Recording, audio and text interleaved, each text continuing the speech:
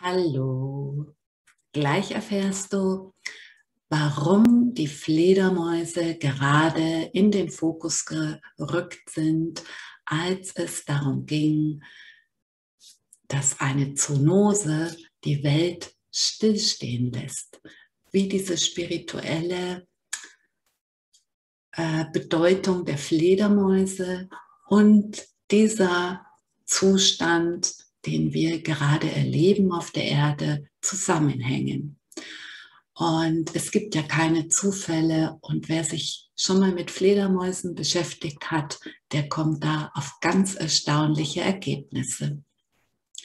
Fledermäuse sind Wesen, die zwischen der vierten und fünften Dimension leben, die ihr Herzchakra und ihr Halschakra geheilt und geöffnet haben und so in der Lage sind, telepathisch zu kommunizieren und im Dunkeln ihre Ziele zu erreichen. Da haben sie so ein System, ich weiß nicht genau, wie das ist, aber das ist so, dass sie Ultraschallwellen wahrnehmen und das ist wie so ein Echolot, was sie ja benutzen, ein natürliches Echolot, ja.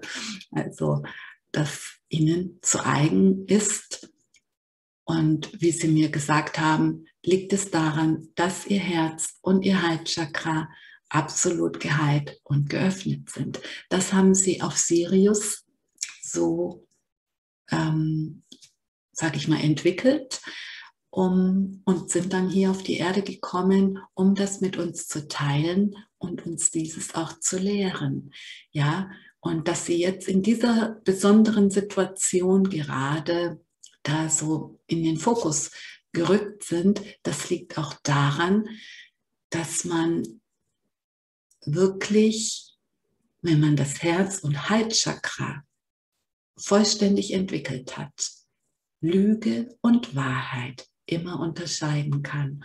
Und das ist in der Zukunft wirklich ein Segen, ein Segen für die Menschheit, der die Welt ein Stück besser machen wird. Und dabei wollen die Fledermäuse auf jeden Fall helfen. Genau. Und ich verbinde mich mit der Gruppenseele der Fledermäuse. Viele Tiere haben ja eine Gruppenseele und sie ist auch schon aktiv und ich beginne mit dem Channeling. Sei gegrüßt, du liebe Seele. Ich bin die Gruppenseele der Fledermäuse. Und es gibt zwei Dinge, die ich dir über die Akte, aktuelle Situation im Zusammenhang mit den Fledermäusen sagen kann, aber auch im Zusammenhang mit allen Tieren. Das erste ist, es geht um Herzheilung in den letzten 10.000 Jahren sind die Menschen immer gefühlskälter geworden und haben auch sehr großes Desinteresse an dem Wohlergehen der Tiere entwickelt. Die Tiere werden misshandelt und ausgenutzt und ja, da ist es wirklich zu einem karmischen zu einer karmischen Antwort gekommen.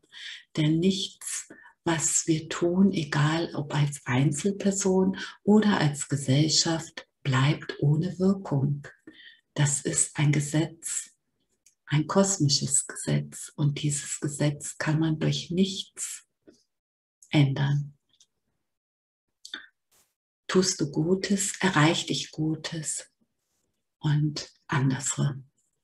So ist es auch mit den Tieren. Die Menschen dringen immer weiter in die Tierwelten hinein. Die Tiere haben immer weniger Rückzugsorte und so ist es nicht verwunderlich, dass seit einigen Jahren Zoonosen aufblühen aufblühen ist vielleicht ein bisschen zu positiv benannt für die Menschen, die jetzt da betroffen sind. Es begann mit BSE und wer nicht weiß, was eine Zoonose ist, eine Zoonose ist eine Krankheit, die durch Bakterien oder Viren von Tieren auf die Menschen übertragen wird. Und so gab es in den letzten Jahren immer öfter Zoonosen, die Schweinegrippe, die Vogelgrippe. Und nun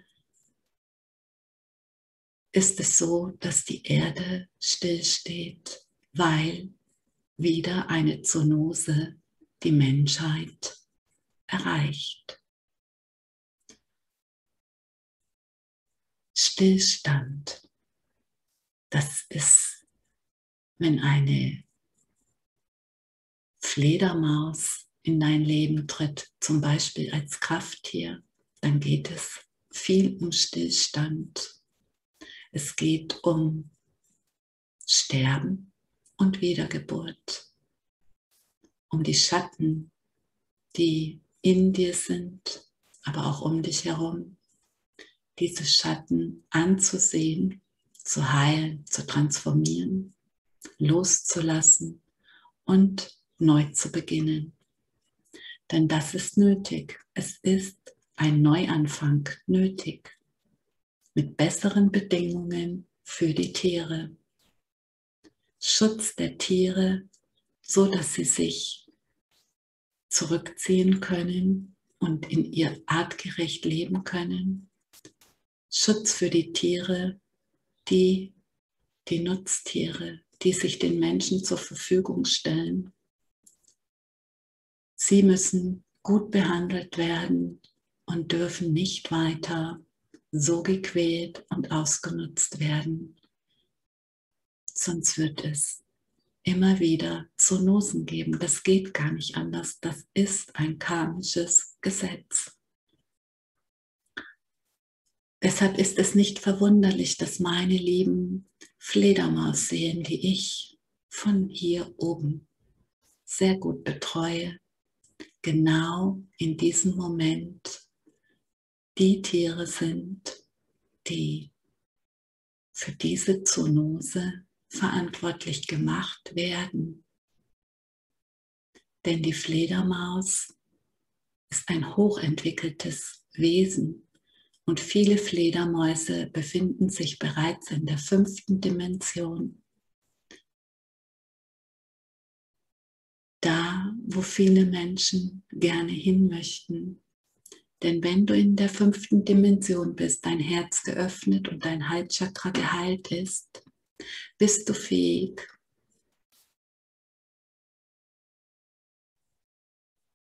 auch das Gute in dein Leben zu ziehen, indem du selber gut bist. Denn das ist auch Anziehung, wenn eine Fledermaus durch die Dunkelheit ihrem Echolot folgt ist es auch ein Gesetz der Anziehung, dass es ihr Ziel erreicht. Und so kann es bei dir dann auch werden. Das heißt, wenn du dein Herz geöffnet hast und dein Halschakra geheilt hast, bist du in der Lage, deine Ziele in dein Leben zu ziehen. Viel leichter, als du denkst, dass es möglich ist. Die Fledermäuse möchten dich dabei unterstützen. Du kannst mit ihnen in Kontakt gehen, du kannst sie in eine Meditation einladen, ihnen Licht und Liebe schicken, damit sie dir ihr Wissen auf telepathische Weise vermitteln können. Deshalb musst du noch nicht telepathisch kommunizieren können. Sie können dir diese Informationen so zusenden, dass es für dich ein leichtes ist, diese nach und nach aufzunehmen und auch zu verwerten. Das ist der Grund, warum ausgerechnet die Fledermäuse in dieser Zeit zu diesem Thema immer wieder genannt werden. Die Fledermäuse sind hochsensible Wesen, und sehr sozial. Sie leben eine bessere Gemeinschaft, als man sich das vorstellen kann, wie es möglich ist. Mit viel Hingabe kümmern sie sich um ihre Kinder und um ihre Gemeinschaft. Dies liegt auch an ihren geöffneten Herzen und an ihrer Fähigkeit, Mondenergie zu absorbieren. Die Fähigkeit haben viele, doch die Fledermäuse wissen davon. Nicht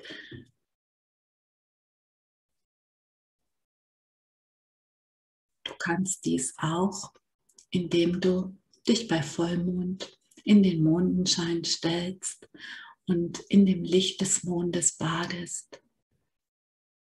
Kannst den Mond bitten, alle Schatten, die dich umgeben, zu reinigen und dich mit ihrer urweiblichen Energie zu füllen. Die Mondin nährt und erhält nicht nur die Fledermäuse, meine Kleinen, sondern alle Lebewesen, die davon wissen und es anwenden. So kannst du auch nach und nach immer weiter in die Heilung kommen, dein Herz öffnen, dein Heilchakra äh, heilen und bist nach und nach selber in der Lage, Kinder oder vermisste Tiere zu orten und musst dir nie wieder Sorgen machen, dass dir ein geliebtes Wesen abhanden kommt. Und die Telepathie ist dir so auch immer besser möglich,